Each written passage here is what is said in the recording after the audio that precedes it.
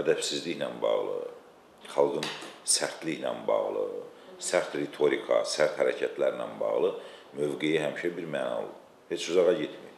Siz ikiniz də buradan mənim e, mənlə müsahibədən çıxandan sonra küçədə kütləvi bir dava görsəniz, ən yaxşı vətəndaş kimi uzağı 102-yə zəng eləyərsiniz ki, burada kütləvi davadır, amma yaxınlaşmazsınız.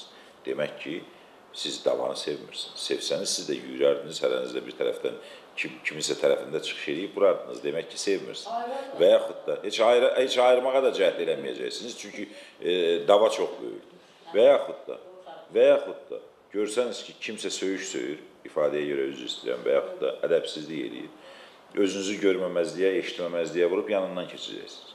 Əgər xalqın tələbi bu olsa, gedər ağzını açar, ona qulaq asar ki, görüm bu nə söyür, birində mən söyür.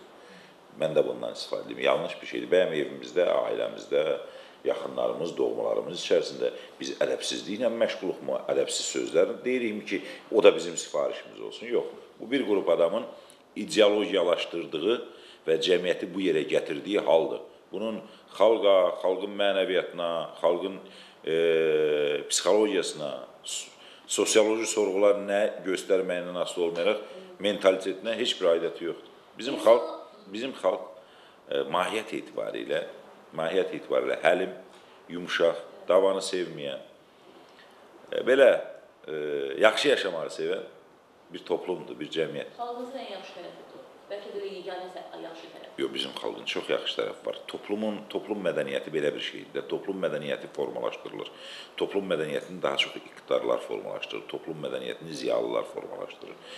Toplum mədəniyyətini cəmiyyətin önündə gedənlər formalaşdırır. Əgər bu gün Azərbaycan iqtidarı, Azərbaycan ziyalısı, mən müxalifəti də ora hesab edirəm, çünki müxalifət də əgər cəmiyyətin e, siyasi institutlarının rəhbərləridirsə, onlar da ziyalının bir hissəsidir. Bu gün bu polemikada bu ritorikanı seçirlərsə, bu gün bu ritorika ilə cəmiyyətə çıxmağa çalışırlarsa, çətin. Bilirsiniz, dəhşətli bir şey yaranıb. Əvvəllər biz çox rahatca ailəmizdə istənilən videonun üzərinə tıklayırdıq, ictimai, sosial cəhətdən e, fəal olan insanların videosunun üzərinə tıklayıb da biz çox rahatca qulaq asa bilirdik. Bu gün artıq ailədə buna qulaq asmaq aman birdən söyüş ola. Mən hər birində üzərinə üstə gəl 18 yazılmır. Plus 18 yazılmır ki, görək bu burada qeyri etik ifadələr var, yox, dəhşətli bir tendensiyadır. Bu bilirsiniz, bu bu faciədir. Mən e, mən başa düşmürəm. İqtidar bunu edə, edə bilmədi, müxalifət edə bilmədi. Bu ölkənin şeyxi hara baxır, bu ölkənin e, ziyalısı Anar hara baxır, Çingiz Abdullayev hara baxır, Ramiz Rövşən, digərləri hara baxır. Siz müraciət edin. Siz qalxın, gedin qapısına gedin, iqtidarın qapısına gedin, müxalifətin qapısına gedin. Deyin, yığışdırın bunu. Biz Azərbaycan gələcəyini bu ritorika ilə yaza bilmərik. Bu ritorika ilə yazılan Azərbaycan gələcəyi qarşıdurmadır, faciədir. Bu ritorika ilə yazılan Azərbaycan gələcəyi qandır, qadadır. Bir-birini bağışlamamaqdır, əzməkdir.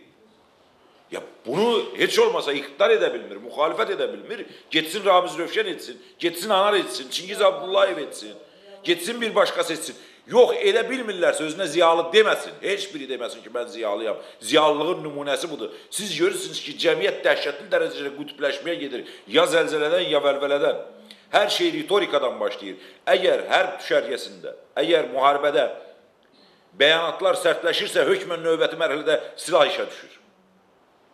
Əgər siyasi cəbhədə bəyanatlar, ritorikalar kəskinləşirsə, hökmən cəmiyyət qarşıdurmaya gedir. Cəmiyyət xaosa gedir, kataklizmə gedir. Biz xaosa, kataklizmə getdiyimiz bir dönəmdir Azərbaycan dünyanın bu vaxtında.